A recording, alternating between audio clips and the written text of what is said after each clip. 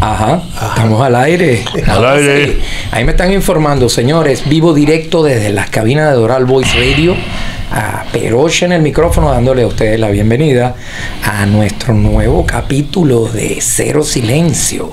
Aquí junto con tu estimadísimo director Juan Carlos Equivel y nuestro afamadísimo George Reyes, Aquí estamos. asesor político financiero. Wow, hay como que demasiada luz aquí hoy. Ah, no, se lo dices a Peroche. Se lo dice a Se lo dices a Peroche, ¿oíste?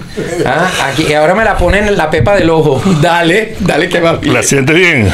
Oye, parece que yo soy alcia, alciami, alciami, oye tú. Alciami. Hoy, hoy tengo problemas de pronunciación. Este- Eh, el salami. En- en- El en- salami. el salami en... en- Eso fue un momento En el cuarto oscuro. de Joe Biden.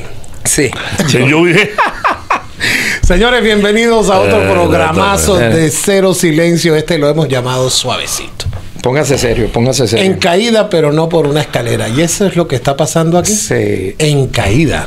En Eh. caída va el señor Biden con todas las Sí, estadísticas y todas las Sí, cosas. señor. Desde que la Corte Suprema dictó que este, con los presidentes no se metan, ok, bueno, me puse triste porque entonces uno no se puede meter con Biden, pero estamos hablando a alto nivel legal, ok, no de lo que uno quiera decir, porque para eso hay una primera enmienda y justamente está prendido el chicharrón entre Trump, el juez, que le pusieron ley mordaza y le dijeron, es un gagging order, donde supuestamente todo el mundo puede hablar mal de Trump, el jurado puede expresarse, los abogados pueden debatir, el juez puede decir lo que quiera, todo el mundo comenta, menos Trump no se puede No defender puede él hablar. mismo. Entonces, no puede hablar del caso. Ajá, entonces Trump de qué puede hablar.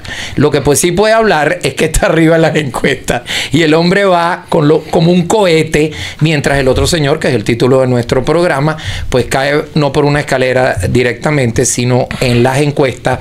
Tuvieron que admitir que es el peor presidente en popularidad en los últimos 70 Pero años. espérate, lo están diciendo hasta los propios demócratas. No, no, sí, CNN y todo. Y la Kamala, la Kamala salió con, con. Biden al lado, que están preocupados. Que entonces, ahora, ¿qué está pasando? Ahora está de moda que, por favor, señores, pónganse las pilas. Esto no es una elección cualquiera. ¿Ah, no? ¿Y esto es una elección de qué? No, esto es especial, porque este hombre viene con todo el interés de ser un dictador y esto va en contra de la democracia. Tenemos que salvar la democracia. Eso me, suele me huele a mí, a, a régimen de la revolución para el pueblo, defenderemos la revolución hasta la muerte. Pero oye, hay que defender una democracia. ¿Cuál democracia? Si le están callando a un opositor, si hasta el mismo opositor o el mismo contrincante o el mismo candidato que va para la presidencia, que es RFK, ¿ok? que es el Robert Kennedy Jr., eh, se tuvo que ir a independiente porque no lo dejan correr, no quieren debatir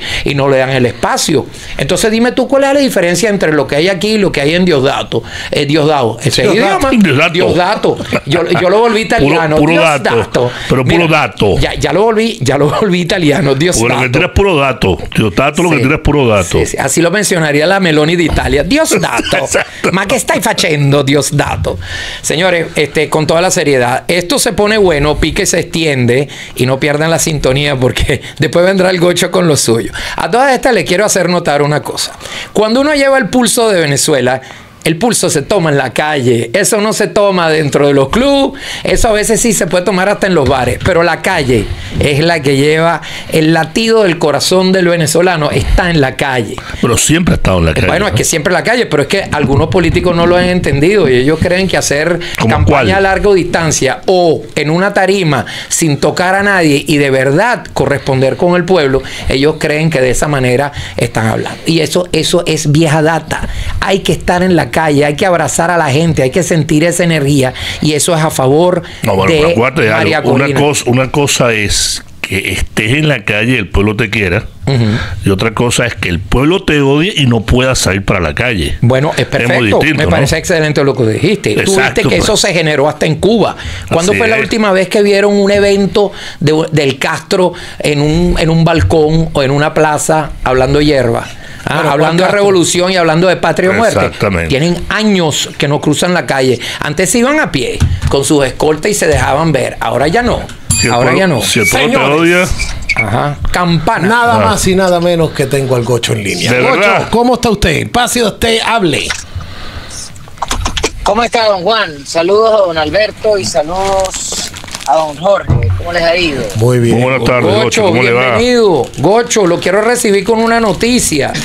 Somos uno de los programas más vistos. Usted se puede imaginar dónde. En el 23 de enero. Hay fiesta en el 23. Y me. ah, mire, y Bueno, si hay también. fiesta, voy a Dime. poner un comercial aquí importante. A ver. El día de hoy, miren quién, pues la calle que pusieron aquí a nombre de quién. De Antonio. en la ciudad. Esquivel. Honor que hacemos en Honor compartir que esta hacemos mesa, aquí en señor Zero. Silence. Tremenda calle y tremenda al zona. Está muy bueno. Es. Antonio de Esquivel. La 27 Esa con la se 7. merece. No, la, La cuare- 25. La 45 con la 7. Ah, y la ok. 3. Qué bueno. Ya qué lo bueno. vamos a decir. Sí. Ahí estaba la elegancia. Bueno, ya lo tiró aquí el, el señor. Así, aquí, había que ¿cómo hacerlo al principio, pues. Pero, Gocho, perdóneme, le quería decir, mientras tanto, de vuelta al 23 de enero, que yo creo que esa gente sí lleva un pulso, esa gente sí significa, tenemos a Tamaica. Este es una de las directoras del movimiento ayer el 23 de, De enero, verdad. que han puesto una pantalla para poder haber cero silencio, señores. Excelente. Los martes y los jueves. Dice, nos gusta, pero Gocho, la, la razón por la cual también lo estaba mencionando,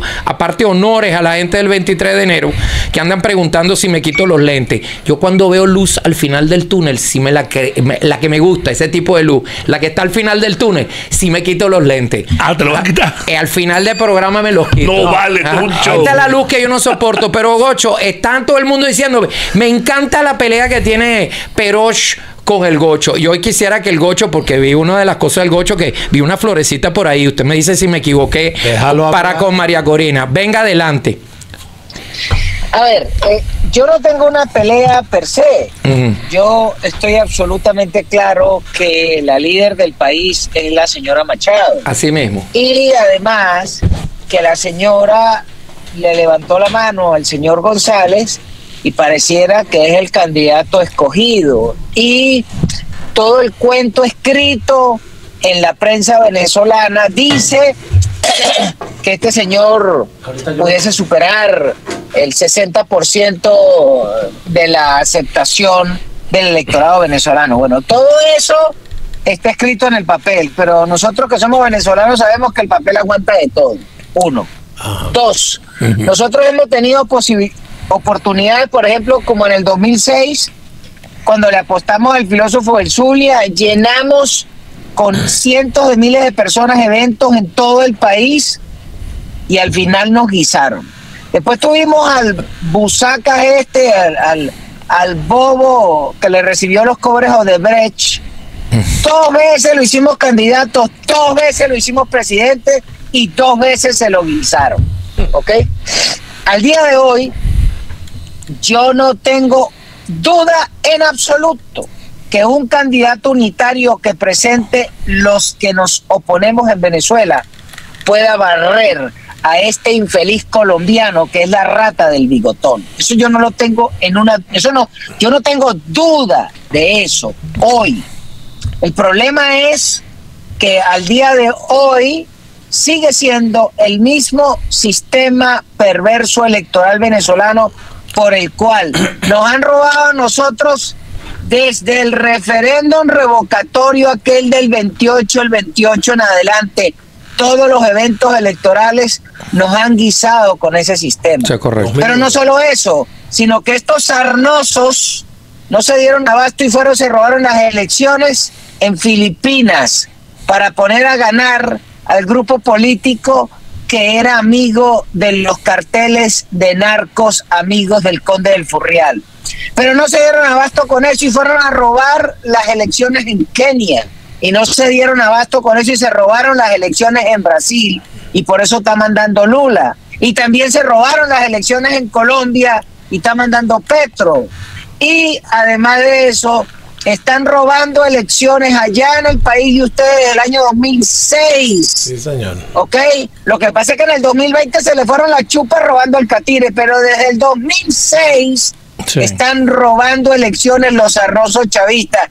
Y por último, entonces intentaron robar a Milei en la primera vuelta, que se lo robaron.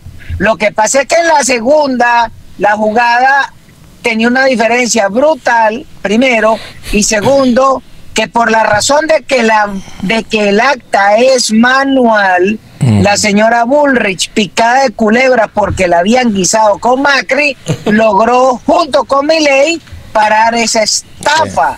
Sí, sí. Tanto es así que un sinvergüenza como Massa reconoce el triunfo dos horas antes de dar el resultado oficial, porque el resultado ya lo tenían. Claro. Lo que pasa es que los tipos dijeron, la pija del burro es negra aunque el burro sea alemán.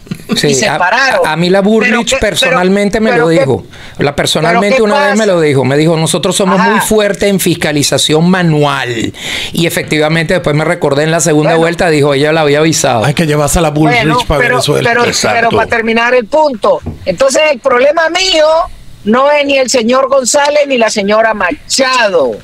El problema mío es que no han cambiado ni una iota de todo el sistema electoral. Y aún peor, hay cosas más nefastas al día de hoy. Por ejemplo, le cambiaron el nombre a todas las escuelas, desbarajustaron a la gente. Para que la al gente no cambiar sepa el nombre la- al cambiar el nombre de las escuelas, a usted lo pueden poner a votar en otro lado, porque ¿qué pasa? Yo voto históricamente en la Escuela Técnica Industrial. Después se llama la Escuela Técnica Eleazar López Contreras. Pero ¿qué pasa si le cambian el nombre y le ponen el nombre, por ejemplo, de el bachiller Rodríguez, el papá de los arnosos estos?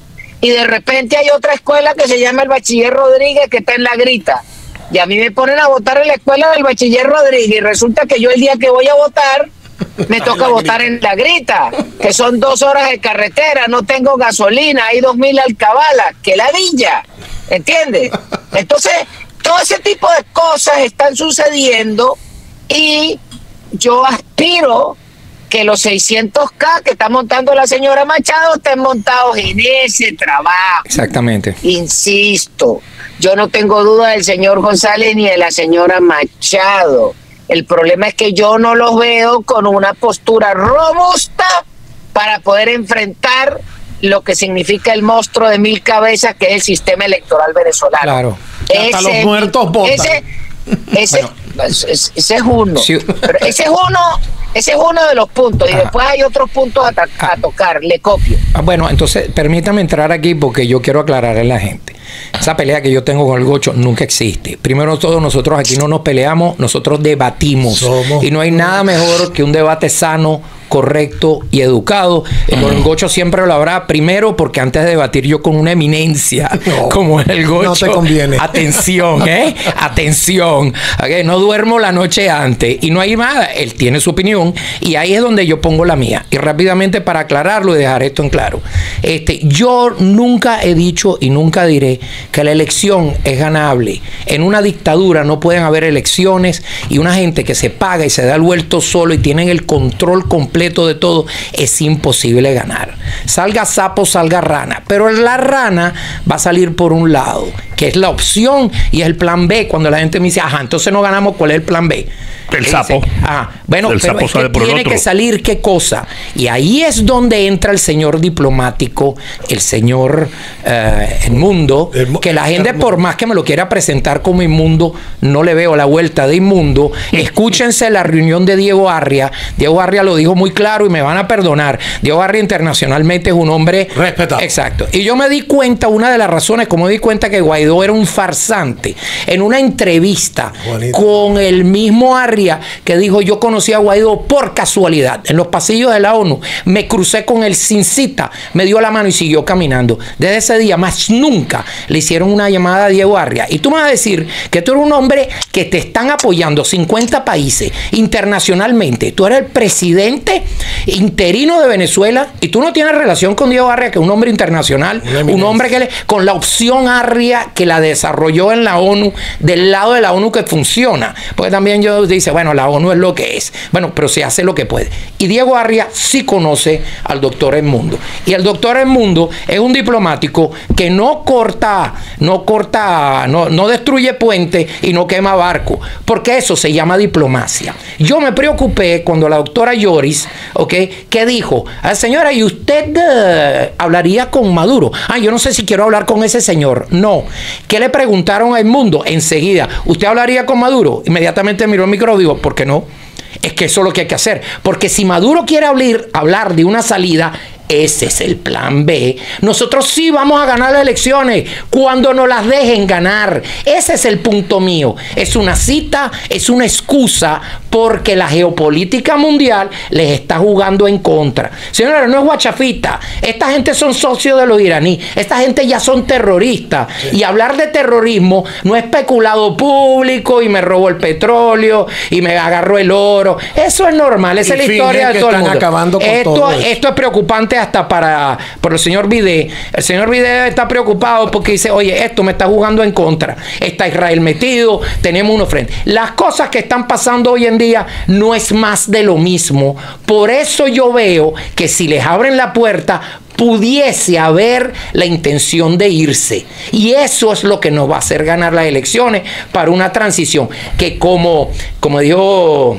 Edu en, en su artículo eh, que, que escribió Edu Martín, dijo, señores, lo que viene después Sí. para lo que es la transición es fuerte. Porque acu- acuérdense que si va esto el 28 de julio, Acuérdense que ellos entregan cuando, como si las elecciones fueran en diciembre, ¿ok? Eso es un gran que- pro- empezando por ahí, ¿no? Ajá, empezando por ahí, la gente no lo dice. No lo- no lo ¿ok? está viendo La gente como no lo dice. Imagínese, ah, no, no hay que hablar con ellos. No, ah, no. ¿Y tú cómo piensas hacer una transición en caso ellos estén dispuestos? Ah, no, vamos a hablar con ellos. Porque usted lo que está haciendo es cortando trato. Es que a trato, porque no hay plomo, señores. El oro en este momento es más barato que el plomo en Venezuela. Porque no hay. A propósito, hablando de Edu.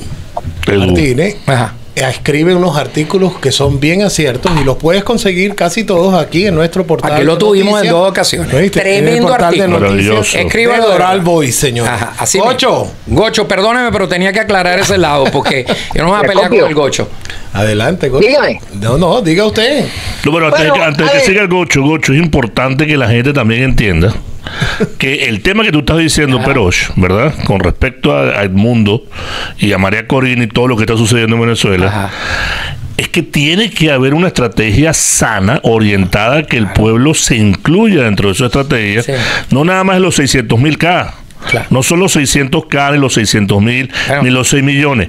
Es todo el pueblo de Venezuela que tenga el mismo plan en la mesa de ir adelante a sacar la dictadura. Eso Porque es. es una dictadura. Esto no es un plan que alguien montó por un periodo de 6 meses, un año. Claro. Viene 24 años funcionando en. Venezuela. Y eso es lo que quiere decir Una el Gocho. No una engañemos generación. a la gente. No, no, más- ya van dos generaciones. Bueno, en Venezuela. 25, bueno. No, unas dos generaciones generación que han 10 pasado. años, señores, sí, 10 señor. años. Ah, Por eso 10. digo. Yo la calculaba 25. Sí, señor. No, No, son- no, no, no. No, no, bueno, Dos olvídate. generaciones. Van dos generaciones y pico. Y eso hay que entenderlo, que la gente lo entienda. O sea, Mira yo que tengo seis generaciones. Ay, lleva Dios seis generaciones. Señores, lo Bueno, dijo aquí en Doral. Que yo, que yo creo que la- las generaciones son siete años. Por lo tanto, estos tipos llevan más de Ah, tres. no, Lleva más de tres ya, pues. Vamos, pero, vamos más para tres, allá, pues. pero más allá de eso, es, eh, yo creo que lo que hay que, yo creo que lo que es importante definir es que en Venezuela lo primero que tenemos que quitarnos es ese argumento del pueblo de encima. Porque el pueblo es un argumento comunista, que es arriar a la gente como borregos. Yo creo que en Venezuela el problema es que no hemos sabido definir qué son los ciudadanos, qué es lo que habita Venezuela. ¿Por qué? Porque los países tienen ciudadanos y tienen habitantes. Los habitantes son individuos que pueden estar legalmente en un territorio o ilegalmente, vivir, trabajar y pagar impuestos y pasarla bien o mal. Pero los ciudadanos son aquellos individuos que de acuerdo al Estado de Derecho tienen una calificación que son las personas que pueden elegir, Votar. pero pueden ser electos. Y lamentablemente en Venezuela han querido revolver habitantes con ciudadanos para decir pueblo y por eso nos lo tienen metido. Y nos lo tienen metido desde que se inventaron aquella famosa misión identidad donde le dieron papeles a más de 8 millones de individuos que llegaron al país. Ah. Unos que tenían añales allá y no definían y el, y el Estado no les terminaba de definir su condición y querían ser venezolanos y otros por la golilla que sacó el Sambo con aquel cuento del cupo Cadivi donde se regalaban anualmente más de 13 mil dólares a 2.15. Eso hizo que llegara a Venezuela una millonada de gente que nunca quisieron ser ciudadanos, que lo que eran era habitantes o que vinieron por los papeles para recoger esos chochecos, pero de una vez los registraron y los pusieron a votar. Abombaron el red de 9 o 10 millones de electores a 18 millones Sí. y ahí nos clavaron de ahí en adelante y nos lo metieron doblado. Y al día de hoy nadie quiere hablar de la diferencia entre ciudadanos y habitantes. Y ese es uno de los problemas que tenemos en la argumentación política, sobre todo de la oposición, porque de los arnosos a mí no me interesan ellos que se mueran todos. Pero el problema es que quien pretende eh, contrarrestar el discurso y el accionar de estos perros no termina de, de- de definir lo que son los ciudadanos de los habitantes. Por ejemplo, ustedes que están allá en los Estados Unidos, ustedes son ciudadanos venezolanos porque ustedes califican de acuerdo al momento en que ustedes nacieron y se hicieron venezolanos. Y aunque vivan afuera, no pierden la condición de ciudadanos. Pero hay una cantidad de sujetos, un poco de Mohamed Machete que llegaron aquí de Libia, de Siria, de Irak, de Irán, un poco de carajo que no saben la O por la redonda. A que cambiar la raza. Hola, que andan, que, que andan en pantufla y que cogen a coñazos a su mujer, pero a esos bichos les dieron papeles y son ciudadanos plenos venezolanos. Esa vaina no puede ser, porque ese tipo de sujetos deciden los destinos de Venezuela por encima de ustedes tres que son ciudadanos venezolanos. Entonces ese tipo de cosas son las que yo insisto en criticar porque a veces pareciera que se nos hace fácil este, dejar pasar esas cosas, así como también se nos hace fácil que en Venezuela, en el grupo opositor, yo no le quito nada que el señor González sea un diplomático, pero que al día de hoy no haya partido una vela, ni siquiera una lanza, pero que no haya partido una vela por los presos políticos, por individuos que nos salvaron la vida en la marcha del 11 de abril, por los policías metropolitanos que tienen 20 años presos con cargos totalmente inventados por una rata como era la fiscal, la bruja esta, la Topacio, la Luisa Estela. Ay, sí. O sea, y que de eso no se diga nada. No puede ser. No puede ser que la campaña sea solamente candy candy. ¿Me entiendes? No puede ser que la campaña esa es todo chupiguay, Mickey Mouse y todo bonito. No vale. Venezuela hoy es un campo de batalla donde hay una guerra declarada de las ratas que dirigen el régimen contra los ciudadanos, que tratan todos los días de llegar al punto A al punto B y tienen que pasar por 50 cabalas que los atraqueen. Y de eso no se quiere hablar. Y es meterse seis horas y meterse seis horas en una cola. Adelante, pero Mire, tengo aquí, mire, tengo comunicaciones de Massinger Z. ¿Se acuerda que lo tuvimos en el programa? Claro que sí. ¿Cómo no? Está sonando durísimo en Venezuela. Y Gocho me escribe, la elección del 28 de julio puede servir para demostrar a la comunidad internacional que la tiranía tiene el control de todas las instituciones y los ciudadanos tienen el derecho de reclamar a la comunidad internacional que presione por las garantías electorales y que todos tenemos que cobrar el triunfo al final. Es una excusa, es una cita, es lo que yo digo yo. Una- Ok, es una fiesta claro, nacional. Y la tenemos que jugar. Y María Corina, ¿qué va a hacer? Agente secreto y va a hacer acuerdo por debajo nada más. Ella tiene que, bueno, ella está enfrentando. ella está enfrentando y está en la calle. Claro. En la- he escuchado, Claro, he pero es que escuchado ha hace- estado en la calle, claro. vi videos. No, no, redes estar en la calle. Claro, claro. claro, claro. Y oficialmente. eh, Yo estoy de acuerdo solamente con el Gocho en el caso de que María Corina tiene que salir de las fronteras para convencer, porque es ella la que tiene el poder que le otorgó el pueblo cuando la eligió candidata única para convencer a la comunidad euro, eh, eh, Internacional. afuera, Sí, internacional pero- que, que vigilara. Yo siempre dije eso, uno por su seguridad y segundo porque afuera puede darle mucho el brazo a torcer a esta gente Bueno. a través de mi ley y toda la comunidad. Eso se está haciendo, pero ahora miren, ya el señor Edmundo dijo, ella está en campaña, yo como no, con mucho gusto y no le quiere quitar el primato a ella o no le quiere apagar la luz, al contrario, pues muy bien, muy bien, pero ella ahora tiene la campaña que hacer. Ella vuelve al ataque otra vez y está jugando en las bases de lo que, de lo que arroba base. Eso es lo que hay que hacer, que se mueve el régimen, que se mueve el régimen. Porque lo que yo le quiero dar, a, y no sé, Gocho, si ustedes me creen,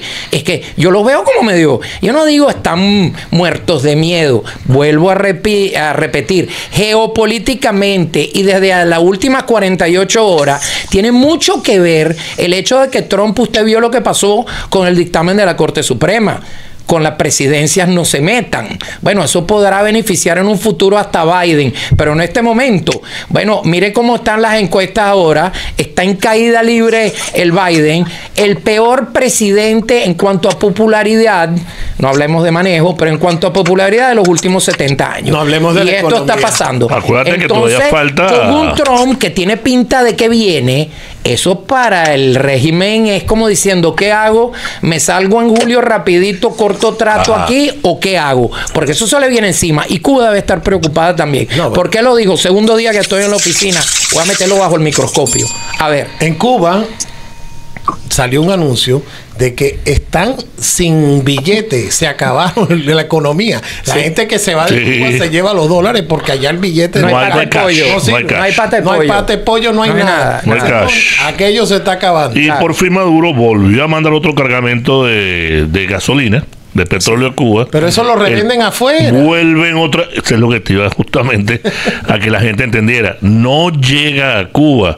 Estos señores es el trabajo que ellos siguen haciendo y lo revenden en el mercado internacional. Se quedan con una facción pequeña para que el régimen mantenga su gasolina en, los, en, en la parte donde ellos se mueven en Cuba y lo demás lo venden. Gocho, permítame, entonces una pregunta hacia usted. Yo estaba conversando con Messenger y Messenger me dijo, déjenle saber a la parte internacional, no hay gasoil. Y eso, eso no es una noticia, pero sí, pero es que está llevando a unos niveles que no los hay y los agricultores no tienen cómo llenar los tractores y cómo poder mover en la parte agrícola. Se van a quedar sin comida porque ellos tienen que producir y no hay. Y dice, ¿qué se va a hacer a niveles de lo que antes era Citco y todo lo demás? Porque es complicado. No, vale, hay, no, no, eso es, fácil, hay. eso es facilísimo. No hay producción. Está bien, No hay. pero una cosa es primero llegar a donde tenemos que llegar. Ajá. Después yo creo que todo- Sí, pero- todas las compuertas se abren y todo el apoyo internacional La inversión va a extranjera llegar. va a llegar más rápido que Sí, vale. que el agua cayendo Sí, una pero, cascada. Así Mira esto, pero de aquí al tú veas. 28 de julio contigo, no hay Juan pate Carlos. pollo. De aquí al 28 de julio no hay que engañar a la gente, Juan Carlos, hay que decirle la verdad, ¿no? Entonces, ¿qué hay que hacer? Ah, bueno, dale algo- Decir dale la algo- gente. Espérate un momentico. Claro. que- Imagínate tú si estamos por todos lados.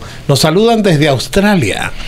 Maravilloso. María, saludos a ti y a toda tu familia que nos están viendo. De Australia, bueno, ya. tú empezaste el programa diciendo que nos están viendo desde el 23 de enero. Señores, hay fiesta en el 23. Una de las Hay fiesta en el 23. Una de las Gran abrazo. Uno de los Venga, Tamaica.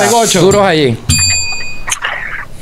Bueno, mire, eh, yo creo que hay que aterrizar en otro argumento. Y es que olvídense del sueño de que el señor González gana y eso abre las compuertas. Eso es una palacia del tamaño del Monte Everest. Le voy a decir por qué. Y le voy a decir por qué. Venezuela es un país, Venezuela es un territorio que dejó de ser país, ¿ok? Donde no hay Estado de Derecho. Mm. Y usted que trabaja en la banca americana sabe que ningún banquero le presta medio a nadie si no respeta las reglas de juego, si no respeta los contratos. Entonces dígame quién es el imbécil de la banca internacional que va a colocar un dólar acá en Venezuela para ser invertido y que sea revisado por la Asamblea Nacional del Colotordoc. Olvídense, eso no existe, eso es casi mentiras y lo lamento.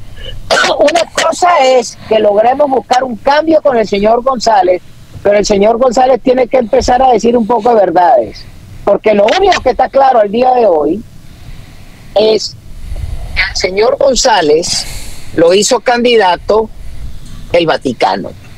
¿Ok? Y a mí que me digan lo contrario. Pero además, el ¿Ah, sí? Vaticano cada vez que ha escogido candidatos en Venezuela se ha equivocado. El Vaticano se empecinó en hacer al señor Caldera presidente Uy. y después de que la democracia le ganó la guerra de guerrillas a los comunistas, este viejo sinvergüenza los echó para la calle sin haber pagado por sus crímenes. Y el Error Titanic, del eh, Vatic- el Titanic se hundió porque Error tenía cuatro calderas, Vaticano. no por el Ya iceberg. ya va. Error del Vaticano, ¿ok? Después el mismo Vaticano impuso a ese sinvergüenza por segunda vez y volvió a dejar a los asesinos en la calle y tuvimos al Sambo de Sabaneta de presidente. Segundo error del Vaticano. Tercer error del Vaticano fue el que designó al viejo Carmona. Y ese viejo cretino se hizo pipí en 24 horas. No supo manejar la crisis y eso que tenía el cardenal Velasco al lado. Porque una cosa es creer que usted maneja las almas de más de 1.500 millones de cristianos y toda esa vaina. Y otra cosa es manejar Venezuela en medio de ese, de ese maremoto que significa el chavismo. Y entonces ahora el Vaticano designa al señor González y yo creo que si ese señor no empieza a hablar claro va a salir con las patas tuertas como todas las decisiones del Vaticano. Porque el problema es que el Vaticano ha decidido en Venezuela y la gente cree que las decisiones son conservadoras de derecha. Y resulta que todas las decisiones del Vaticano para Venezuela han sido decisiones con la anuencia de los comunistas. Y de eso, revise la historia, no me crea a mí, búsquelo en Google. Y eso es lo que a mí me preocupa el señor González, que no está hablando claro. Y lo que más, y lo que mejor muestra en su palmarés es que el tipo fue embajador de Chávez hasta el 2002. Y de eso no se ha quitado esa mancha de encima, ni ha explicado qué coño hizo para Chávez en Argentina. Casualmente, cuando se montan en el gobierno, las ratas de los Kirchner. Entonces, hay una cantidad de nubes que a mí no me van a venir a tirar talco en la cara y decirme, ay, suma pero no reste. No, así no. ¿Me entiendes? Yo me cansé de ese borrego y conmigo están equivocados. Tienen que hablarme claro de qué es lo que es importante para el país y cómo se va a restablecer el Estado de Derecho. Es más, en un país donde hay cinco poderes que van a tener cuatro en contra, más los militares en contra, si tú llegas a ganar la presidencia de la República, lo menos que puedes hacer es plantear desde hoy cuántos son los decretos que le dan el Poder Ejecutivo que vas a desmontar. Porque el país está atascado de decretos de la presidencia donde hay alcabalas por todos lados y eso tiene que quitarlo. Pero ese trabajo tiene que decirlo desde hoy. Hoy, históricamente en Argentina, le, apro- le aprobaron... La, ¿Qué pasa? dale, le dale. aprobaron, la, ahora para terminar, hoy le aprobaron en Argentina la ley al señor Milei, donde trata de abrir la economía, ¿verdad? Pero es que el tipo traía la tarea hecha de tres- 35 mil legislaciones hay en Argentina para trancar la economía, pero por lo menos hicieron la tarea. Mi pregunta es, ¿dónde el señor González dijo cuáles son los obstáculos que hay en Venezuela hoy? No importa que no los derogue, pero por lo menos cítelos. Esa es mi queja, ese es mi reclamo. Te copio. Bueno, pero entonces perdóneme, el candidato del mundo al final, si llegase, es para, para llamar a una asamblea constituyente, ¿ok? No, para señor. poder desarmar todo, ¿Para ¿o qué? cómo? Ah, que- No, señor. No, señor. Desde el poder Eh, Era una pregunta, atención, ahora desde dice el que poder ejecutivo, desde el poder ejecutivo, con la constitución de Chávez, hay suficiente margen legal para desmontar esa vaina. Ah. Porque casualmente el poder ejecutivo venezolano con la constitución de Chávez se hizo para que el presidente sea emperador, pero si está dispuesto a mandar. Ahora, si el señor González lo que está dispuesto es a solamente hacer diplomacia, entonces estamos re jodidos. Sí. Pero eso tiene que decirlo desde hoy. Y si no sabe quiénes saben la tarea, bueno, tiene que buscar un equipo, porque el problema no es la señora Machado repicando y andando en la procesión, que tiene un equipo que no la tiene clara, y el señor González tampoco tiene un equipo que la tiene clara, porque lo único que tiene el señor González atrás es el partido Copey o todo lo que era copeyano, más los de la MUD. Pero la pregunta es, ¿dónde están los que saben qué es lo que hay que desmontar? No los ha mostrado, pero tampoco lo ha dicho. Suponga que el hombre, él, como tiene 75 años, va a jugar solo para que no jodan a los que están alrededor. Pero diga algo, papá, porque no dices nada. Solamente, no, yo voy a dialogar, yo voy a arreglar. No, no, no, no, no, no, no. Enumere, hermano, enumere. ¿Entiendes? Por ejemplo, primera acción del Ejecutivo. Tiene que bajar ese IVA infame a por lo menos 8% para ver si la gente respira. ¿entiendes? Cosas así, pero de eso no quieren hablar nada, entonces o no saben, o son unos improvisados, o son unos mediocres, o son unos piratas, o definitivamente no tienen voluntad para querer ganar. Y esos son los reclamos que estamos nosotros obligados a hacer. De copio.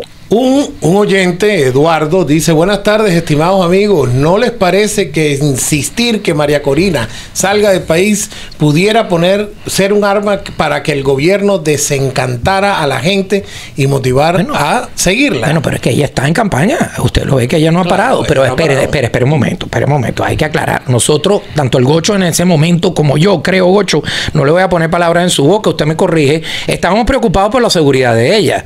En cualquier momento es una piedra y esta gente son unos asesinos. Aquí estamos hablando de que seguimos con una campaña de un partido político contra otro y varios partidos. No, no, aquí estamos hablando, señores, que había pasado lo que había pasado en Ecuador y aquí se podía revelar que le meten, vulgarmente hablando, un pepazo a María Corina en cualquier momento. Hasta un loco de la calle, cualquier cosa, porque se le acercaba a la gente Yo como creo se le que la van a cuidar más de lo normal. Bueno, ahora sí ya estamos en otras eventualidades, pero ahora sí que ya sabemos que hay una persona nombrada eh, porque está registrada, hasta Diosdado dijo, sí, bueno, está ahí escrito, está escrito y bueno, ok, vamos para adelante. Ok, no lo dijo de esa manera, pero eso es lo que es. Y, y ahora María Corina tiene que hacer una campaña, pero si antes iba a quedar ahí y no se entendía qué iba a pasar, que vaya afuera y todavía al final lo debería de hacer y el pueblo tiene que entender, no es que la está abandonando, sino es cuestión de seguridad y es cuestión de que afuera eh, la opinión pública es importantísima, importantísima. Señores, 6 y 40 de la tarde, nos pasamos un poquito, pero tengo que ir a un corte comercial. Ya regresamos con más de cero silencio y vámonos un poquito para arriba. ¿Qué es lo que está pasando aquí con el Catire? Ya regresamos. Señor Gocho, hoy multaron al Catire. ¿Cómo me le va? Bueno, nada nuevo. Más bien, yo creo que el hombre tránsito. lo que está- yo creo que el hombre lo que estaba apostando era que los amparan presos Sí. para acelerarle su pase directo Para ganar la elección de una vez. Sí, pero, pero más allá de eso, ¿qué es lo interesante? Bueno, que mientras la justicia está pendiente de joder a un presidente de la República, que además es el candidato del partido que se opone al partido de gobierno, en esa nación les agarraron el rabo los comunistas, se disfrazaron con el kefir ese que es el trapito de los palestinos, sacaron la bandera palestina y le han meado el gorro y han bajado la bandera americana para subir la palestina Eso lo vi. en los mástiles de las universidades. No, yo veo esa vaina aquí en Venezuela y al que esté ahí los cojo a coñazo. Y si tengo un bate le meto un batazo. Nadie me baja la bandera de Venezuela para subir la bandera de una mierda que no es mi país. Entonces esa vaina es porque una cosa es la libertad de expresión y otra cosa es la falta de respeto al sitio donde tú estás cuando tú eres visitante. Ese es el primer punto. Ahí te demuestra que los que los imbéciles de los demócratas están jugando creyendo que se van a recuperar el voto joven, pero resulta que el voto migrante no le falta el respeto a la nación del norte. Yo no veo a ningún migrante venezolano y a ningún migrante mexicano, hispanoamericano, peruano, colombiano, bajando la bandera americana para subir la Palestina. Por lo tanto, esos son unos comunistas Sí. redomados de los antifas, esos son Sí. las mismas pecuecas de siempre, pero, pero cada vez consiguen disfrazarse de algo distinto. Y para colmo, ahí, está- ahí están los reales que pone Soros y ahí están los reales de todos los chiringuitos y los tarantines que dejó montado el pintado de Chicago, que ese carajo sí odia a su nación. Imagínate tú. Y para colmo, gozan de un privilegio de vivir en los Estados Unidos bajo estudiantes con una visa especial, ¿ok? Que debería el Departamento de, de- de Homeland Security, el, el Departamento de Migración, investigarlos a toditos, porque a todos los han arrestado. Salen por candolas, salen por camiones y autobuses desde las universidades, ¿ok? Mientras interviene la policía. Entonces esa gente son procesados. Y si tú estás aquí bajo una visa de turista, una visa de, de- de- ¿cómo se llama? De estudiante, y estás gozándote de estudiar la cultura, la poca que dan, porque están infiltradas todas las las universidades, hermano, a eso hay que estudiarlo, pero eso demuestra cómo está el gobierno actual, que ni al tipo Mayorga lo, lo, lo enjuiciaron. Sí, pero eso no es de ayer, eso viene Eso de viene años que están, esta gente viene Sí, pero, doctrinada hace tiempo. pero, claro, pero esta última semana ha sido un derrape en la Universidad de Sí. Columbia, Sí, en sí. la Universidad de Harvard, escapó de las manos. en las universidades en Texas, en las universidades de California. Donde quisieron ir a hacer esa vaina fueron las universidades de Florida, pero el gobernador le dijo, Sí, clarito. Kiss my ass, bitch. A mí no me van a venir a joder. Ah, El tipo agarró y le mandó a la policía y le paró el coco. ¿Entiendes? Oiga, Entonces, no ¿qué dijo pasa? eso, pero cerca, ¿eh? No con Bueno, palabras, no, pero pero ese fue el mensaje. es Ese fue el mensaje y lo capturaron muy bien. Pero es lo que yo diría.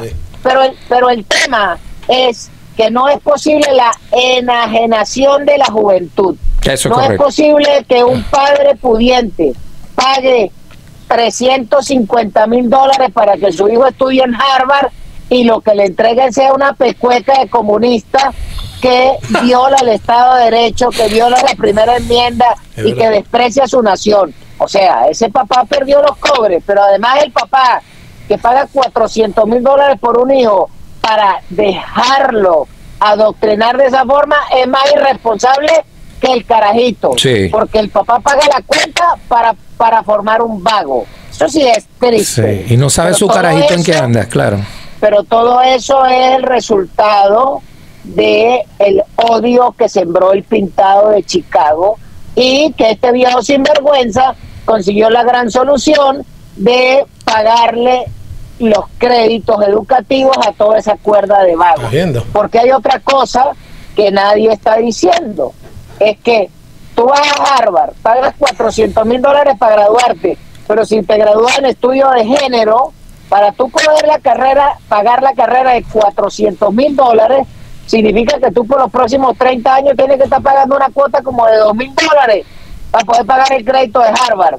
Pero explícame quién va a pagarle un salario a un desocupado vago que se graduó en estudio de género. ¿Ah? O sea, y esa vaina, eh, ¿eso se come con qué? Claro. ¿Ese tipo repara qué? No, que yo voy a hacer un estudio de la opresión de los negros del año 1750 a 1947. Ajá, ahí. ¿Y esa vaina qué? ¿Eso qué produce? Tú produces pan, tú haces hamburguesas, tú reparas carros, tú manejas. Claro. ¿Qué haces tú con eso?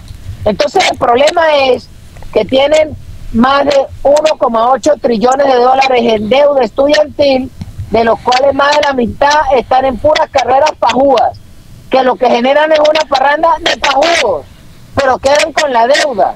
Y entonces, ¿qué va a pasar con esa sociedad? No, la solución es, como hizo Gavin Newsom en California, suba el salario mínimo de McDonald's a 20, mil- a 20 Sí. dólares. Bueno, están ahora cerrando. McDonald's no vende nada. Ahora McDonald's no vende hamburguesas y se Claro, lo dieron. claro, claro. Ese tipo de locura de lo que significa el estado, el estado de bienestar y el estado de la golilla. Eso es lo que está pasando y el Catire, de alguna forma, tiene un discurso claro que le está hablando al ciudadano americano que pague impuestos y con sus impuestos le tiene que pagar el estudio a esos vagos y a los becados extranjeros que agarran también parte de esos estudios y tienen que pagarlos con los impuestos que ustedes pagan. Claro. Qué belleza. Bueno, eh, ahí, ahí es donde entra Elon Musk, que lo había dicho hace tiempo, dice, y yo tengo gente que trabaja para mí, pero dijo, usted puede ser graduado de Harvard, pues puede ser un perfecto imbécil. Eso no deja de ser un imbécil. Yo no fui a Harvard. Así mismo, así. Yo fui a Miami Dade College. Bueno, antes de que se, re- antes de que se No, revelara todo este problema palestino y todo lo demás por justamente la geopolítica que lanzó esto nuevo de los últimos meses, era el asunto de la franelita trendy de la cara del Che Guevara, que salían los muchachitos con la franelita de 85 dólares, diciéndole al papá con los zapatos de Gucci y el celular de 2 mil dólares, que él no había entendido nada. Y salían de tremenda universidad adoctrinado que se los ese era el héroe. tatuaban en las pantorrillas. Bueno, el está Che peor Guevara. todavía. Está bien. Y de Por paso el amor endeudado. de Dios. Así mismo, Así es. así mismo. Bueno, vamos Pero, para pero, pero, ella acaba- pero no perdamos tiempo en ese sarnoso asesino basura argentino y más bien yo creo que hay una nota importante de los argentinos al día de hoy. Sí. No solo que el señor Milei consiguió que le aprobaran la ley de cambio económico, sino que la gente dice, bueno, pero es que ese tipo es un loquito, sí. ¿Y por qué no te buscas cómo se ha comportado la acción de yacimientos petrolíferos fiscales de la Argentina? Todo el mundo vio el año pasado que la acción bajó hasta 9 dólares porque creían que iban a seguir con los arnosos de los Kirchner y eso venía para abajo como máquina de escribir. ¿A cómo está la acción de, YPF hoy? Está más de 22 dólares. ¿Qué significa? Que ha subido más del 100% en un año su cotización bursátil. Y después me van a decir a mí que mi ley no sabe. O es que el que compra acciones de esa petrolera es pendejo. ¿Usted cree que el que compra acciones petroleras es bolsa? Bueno, entonces ahí te está demostrando cómo se pueden hacer las cosas bien. Y fíjense qué es lo que hizo el señor Milei. Decir la verdad siempre. El tipo siempre tiró sobre la mesa su plan. Y eso fue lo que él predicó. Y esa es mi crítica. En Venezuela es, no, vamos a elegir a este, vamos a salir del bigotón y después le echamos el cuento. Pues amiguito, lo lamento. Eso así no funciona en el año 24. Ese era un cuento que podía funcionar en la década del 70 y 80, pero hoy, con la inmediatez de la información, Sí. si tú no estás diciendo cómo va a ser el juego y cómo lo vas a cantar, estás perdido. Porque ahí tienes a Víctor Orbán, que esta semana hubo la reunión del Sí. CIPAC en Hungría y descosió la línea y básicamente le digo, le digo a la gente, somos los patriotas conservadores los que vamos a salvar Europa y nuestras naciones y vamos contra las ratas comunistas y contra las ratas globalistas. Ese nos cantó claro y hoy, desde Hungría, usted agarra su teléfono y se entera que dijo Víctor Orbán traducido al español. Entonces, mientras el mundo se está moviendo en esa dirección, a esa velocidad, nosotros tenemos un candidato que está diciendo que va a negociar. Bueno, me parece bien que se sienta a negociar con el bigotón, pero ¿qué coño vas a hacer? ¿Dónde está la sustancia de tu programa? ¿El tuyo o el de la señora? Y no me venga con el cuento que Venezuela es tierra de gracia.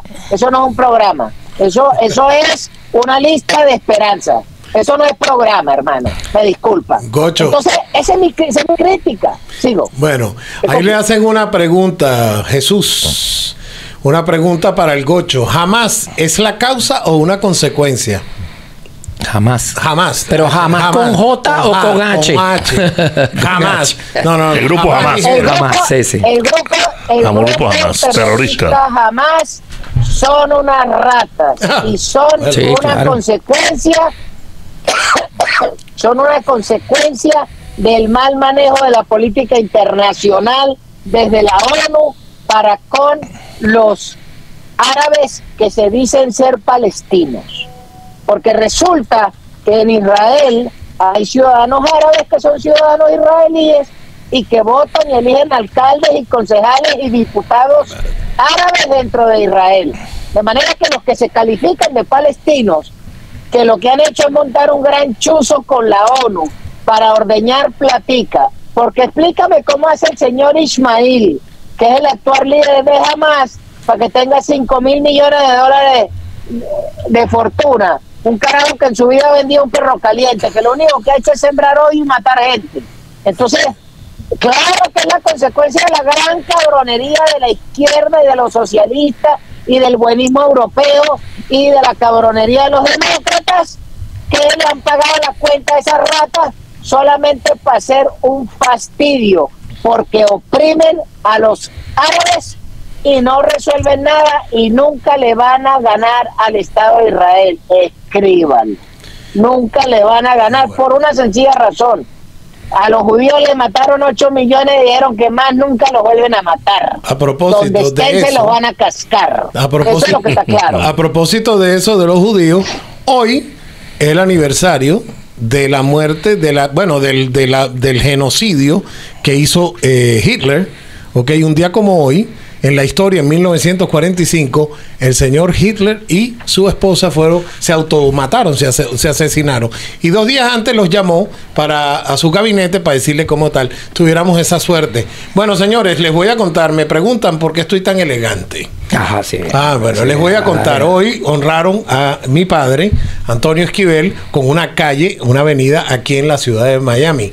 Porque mi padre fue un cubano de esos de los buenos, ¿ok? Que ahí ten, eh, yo estaba haciendo un speech, pon la otra foto, y ahí está. Antonio de Esquivel fue nombrada una calle, ahí están dos comisionados de la ciudad de Miami con Helen Villalonga. Qué bueno. Eso por eso es mi elegancia. Y ahora vamos con los dos pesitos. Esos fueron mis dos pesos. Pero, pero muy bueno, te felicito, de verdad, de verdad, con Gracias, orgullo. gracias. ¿Ah? Y mira, ahí está, mira, ahí está el cartel, ahí está. No, ¿qué pasa? Bueno, esto es uno, uno, un duplicado que le dan a uno para eso, Antonio de Esquivel. Muchas gracias al comisionado verdad. Carollo, al comisionado Manolo Reyes y a todo el equipo que en esta ciudad de Doral, en la ciudad de Miami, nos han, nos han apoyado y nos honraron a la familia. Ahí está verdad que es muy bueno. ¿Viste? Bueno, adelante con tus dos pesitos, Perosh. Bueno, Dólares. señores, no, yo quisiera agradecerle a toda la gente de Venezuela que está viendo este Cero Silencio. Hacemos lo que podemos, mucho más de lo que podemos. Nos hemos dedicado. Señores, se va a quitar los lentes. Presten atención. ¿Quién dijo? Como tú lo prometiste para prometiste. Oye, pero apaguen las Al luces. 23 de enero. Apaguen. Mira sí, verdad, es verdad, sí, es. Mis dos es, pesitos, ahora señores. sí, pues ahí lo Ah, tienes, ah, pues. ahí está, ahí está, ahí está. Se lo voy a dedicar a la gente del 23 de enero. Se lo voy a. Ahí está. a- se lo voy a dedicar a Tamaica. A Tamaica. Eh, esta señora dice, señor Perosh, quítese los lentes. Por ustedes me los quito. Señores, adelante. Ahí está, por Venezuela qué dolor, libre. qué dolor, qué Ah, dolor. Venezuela libre. Muchas Los gracias, señores. Muchas gracias, muchas gracias. Adelante con eso, de verdad se les agradece. Y ustedes son los que le dan a uno la gasolina para seguir a, justamente la gasolina que no hay. La ponen ellos para que uno pueda seguir en esta pelea. Muchísimas gracias al Gocho, que también lo inspira a uno a seguir peleando en los debates. A todos ustedes por la paciencia de Calace Peroch. Pero señores, adelante todo. Muchísimas gracias. ¿Ok? Señor Muchísimas Gocho, gracias. tus dos pesitos. Bueno, muy sencillo. Póntelo, pues. Los venezolanos se fueron 8 millones en diáspora, de los cuales hay una porción muy- importante en la nación del norte. Todo venezolano que esté escuchando esta señal, tanto en los Estados Unidos como en Europa, tiene que tener como tarea registrarse para votar si ya puede votar. Y en noviembre ir a votar por el catire Trump. Sin pajas. Y, en la, y los que votan en Florida tienen que ir a votar por el senador Rick Scott Sí. para la primaria, para después ir a seguir apoyando a los venezolanos desde el Congreso. Esos son los que están en Estados Unidos. Los que están en España que- y que votan en Cataluña tienen que ir a votar por Vox para parar la locura de esos arnosos separatistas que no ayudan a la causa de los venezolanos. Y tercero, todos los venezolanos que están en, Euro- en Europa y que votan tienen que registrarse para votar en la elección del Parlamento Europeo Ay, para pararle el macho a los comunistas, a los socialistas, a los chavistas y a los Eh, globalistas. eso es lo que yo te digo. Ese, es Exactamente. ese es el punto. Muy bueno, Gocho, sus Es dos ese- pesitos. Gocho, perdóneme, ese es el punto justamente. Hay cosas y condiciones que no son más de lo mismo en otras elecciones venezolanas. ¿Ok? Por eso yo digo que vale la pena y hay que jugarse este partido. Ah. A los que dicen que no sirve, que me digan cuál es la otra alternativa. A uno que no le gustan los sí. pesos, sino los dólares o las liras A esterlinas, todos. el señor Jorge Reyes nos da sus dos pesitos. A todos, a todos nos gustan los dólares, no los pesitos, eso seguro. Ni siquiera a ti. Ah, bueno, mira, el mensaje es muy claro. Yo creo que el Gocho hoy de verdad que tuvo una intervención Muy bien, muy tú, bien, Perosh, muy bien. de altura. Que se reconozca que esto es un debate siempre. público y siempre va a ser así. El mensaje yo creo que está claro aquí eh, y mis dos dolaritos van hacia allá. Edmundo, tienes toda la oportunidad de lograr lo que no se ha logrado en 24 años. La gente quiere definitivamente no solamente un cuento, sino que le de verdad le digan cuál va a ser el plan inmediato. Y las preguntas claves, como siempre, son qué vas a hacer con los militares, cómo vas a llegar a llevar adelante esa maraña que existe ahí en Fuerte Tiuna. Y por supuesto, cosas que la gente está hablando en la calle en este momento. ¿Quién va a entregar a quién? Hay una recompensa. Claro. ¿Cómo es esto? No. ¿Usted va a entregar o no va a entregar a Maduro? ¿Va a entregar a Diosdado? ¿Qué va a pasar ahí en ese proceso? ¿O es que lo vamos a obviar? Hay demasiados contratos políticos, geopolíticos Bueno, con pero- China, con todos esos países, Irán, Rusia, para que vengan a bailarle el trompo. ¿Dónde se van a meter? es. ¿Qué van a hacer? ¿Qué van a romper? ¿Cómo van a romperlo? Señores, el jueves vamos a analizar todos estos temas en otro programa de Cero Silencio, porque lamentablemente ya nos tenemos que ir adelante. Oye, el mundo, no nos falle, porque te van a arrancar la piel a cachetada, ¿oíste? No nos falle, creo, no. no, nos falle. cuidado, Tú vas a terminar pagando los platos rotos que los demás dejaron de, de pagar. Cuidado, el mundo, no nos falle, tenemos confianza. Así Tú es. votas, saca a tu gente a votar uno por diez. Así es como se ganan las elecciones. Y mira, Así quédate ahí hasta que veas al nene. Ah, Buenas tardes, señores, y nos vemos el jueves en otro programa desde la cabina principal de Doral Voice. Esto fue Cero Silencio. Muchas gracias. Gracias, gracias a ustedes.